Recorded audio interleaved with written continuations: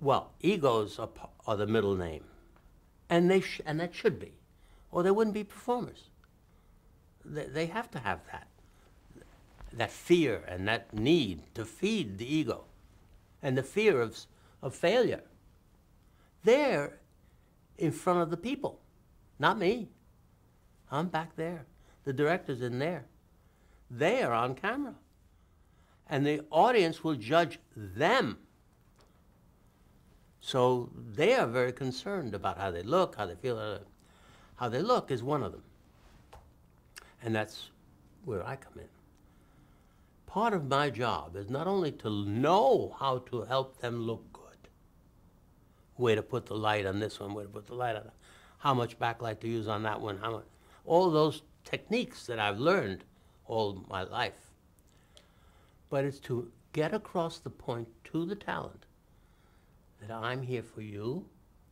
I will help you to look as perfect as you can, or you look great. I wouldn't change a thing. May I suggest you put your hair back a little bit? May I?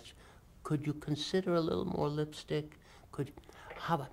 Oh, if do you have anything but instead of that white blouse, do you have a, a pastel color? I think it'll look better on camera. Things like that.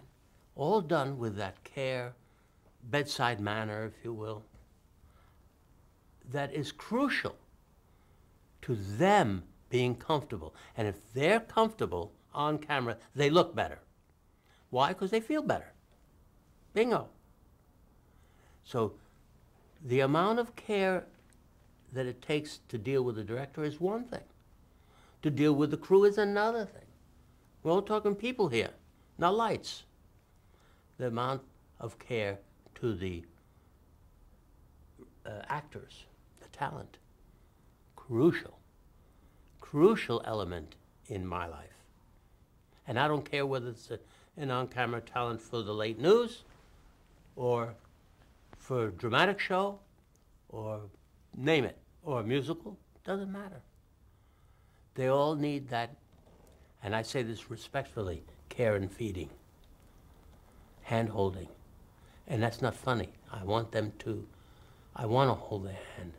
That's part of my job.